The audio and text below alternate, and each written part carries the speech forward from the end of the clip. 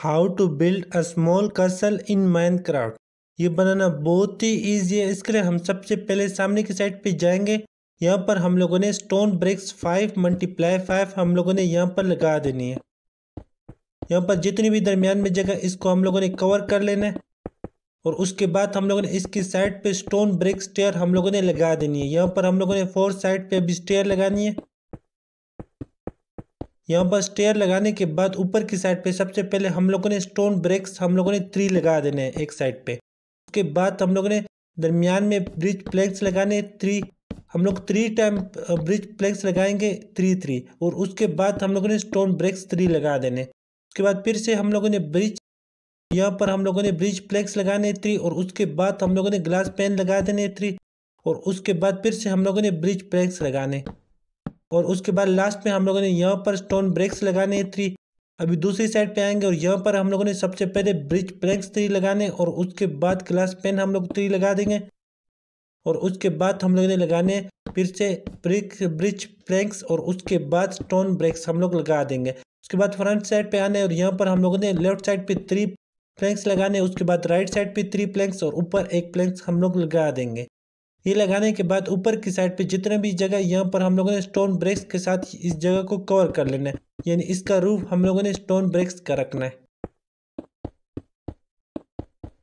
ये कवर करने के बाद अभी हम लोगों ने इसके साइड पे स्टोन ब्रेक स्टेयर लगानी है। यानी यहाँ पर जैसे हम लोगों ने नीचे की साइड पे लगाए थे फोर साइड पे स्टेयर सेम इस तरह हम लोगों ने ऊपर की साइड पे भी फोर साइड पे हम लोगों ने यहाँ पर स्टेयर लगा देनी है। स्टेयर लगाने के बाद अभी हम लोगों ने ऊपर की साइड पे फिर से हम लोगों ने स्टोन ब्रेक्स सेलेक्ट करनी और साइड पे हम लोगों ने एक एक लगा देनी। है यानी सबसे पहले साइड पे, दरमियान में और साइड पे, उसके बाद दरमियान में, उसके बाद साइड पे, और देन दरमियान और साइड पे और लास्ट हम लोगों ने दरमियान में लगा देनी है।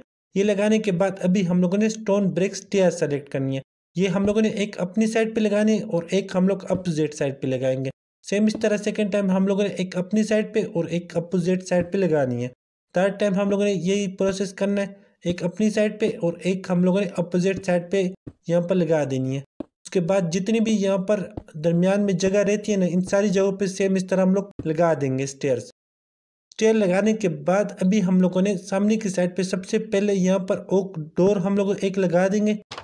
ओक डोर लगाने के बाद अंदर की साइड पे आना है और यहाँ पर हम लोगों ने सबसे पहले ग्रे बेल्ट लगा देने और उसके बाद हम लोग यहाँ पर टू चेस्ट लगा देंगे लेफ़्ट साइड पे और उसके बाद राइट साइड पे हम लोगों ने एक फर्निस रखनी है और उसके बाद हम लोगों ने एक ग्राफ्टिंग टेबल रखना है और उसके बाद लेटेन और दूसरी साइड पे फ्लावर पोट और उसके ऊपर हम लोगों ने फ्लावर रख देना है।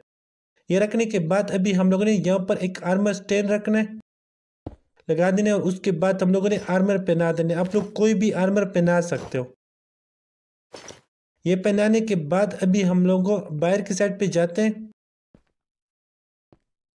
यहाँ पर बाहर की साइड पे जाने के बाद ये बन गया हमारा small castle castle house in Minecraft और अगर आप लोगों को कोई मसला आ रहा हो इस वीडियो में तो आप लोग मुझे कमेंट में बता देना। और अगर आप लोगों को ये वीडियो अच्छी लगी हो तो वीडियो को लाइक और चैनल को सब्सक्राइब कर देना। तो मिलते हैं हम लोग अपने नेक्स्ट वीडियो में, तब तक के लिए बाय